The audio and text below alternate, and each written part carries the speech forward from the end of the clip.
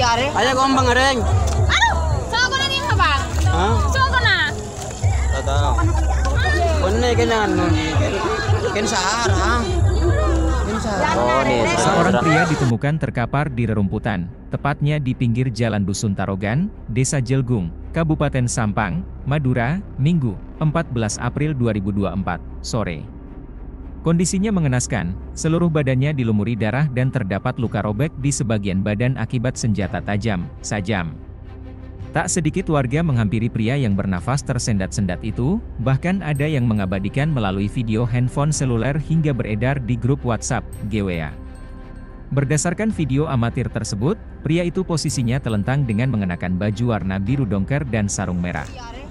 Tampak jelas dia mengalami luka robek di lengan tangan sebelah kanan dan kaki, bahkan sejumlah jari kaki terputus. Ditemukan warga berserakan di area setempat.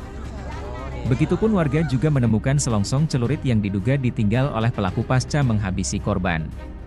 Kapolsek Robatal AKP Siswanto, membenarkan atas insiden berdarah tersebut dan korban merupakan warga asal desa Banyusokah yang hendak pulang ke rumah istrinya. Pihaknya masih belum bisa memberikan keterangan detail atas peristiwa itu, yang jelas berdasarkan informasi yang didapat, korban dieksekusi menggunakan sajam oleh orang tak dikenal yang menggunakan mobil. Sementara, berdasarkan informasi yang berhasil dihimpun, korban seketika dibawa ke RSUD Dr. Muhammad Zetien Sampang, namun nyawanya tak tertolong akibat kehabisan darah.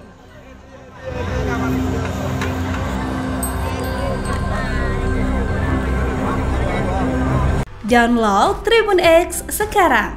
Menghadirkan lokal menjadi Indonesia.